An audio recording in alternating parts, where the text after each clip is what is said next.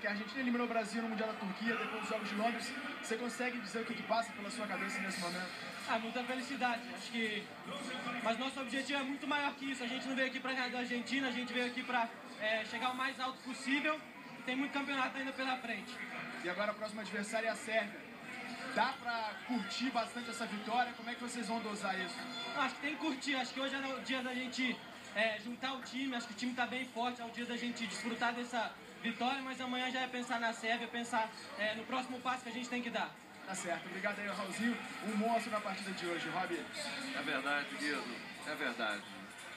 Um monstro na partida hoje. E o Raulzinho foi o cara dessa vitória da seleção brasileira hoje sobre a seleção da Argentina.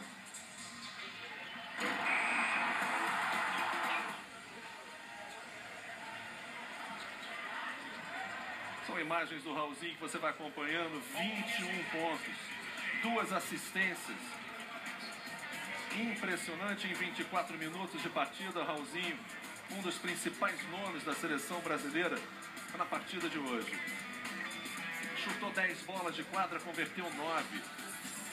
Mais de dois pontos, ele chutou 9 e converteu 8. Matou a única bola de 3 que chutou, 100% na linha de lance livre. Seleção brasileira, durante esse jogo inteiro, a gente continua vendo imagens do Raulzinho, menino escolhido pelo técnico Rubem Manhã.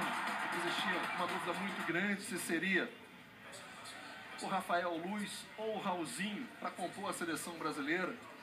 Manhano foi muito criticado pela escolha, pela escolha do Raulzinho hoje.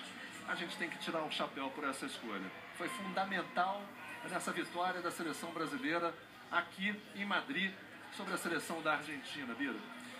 É um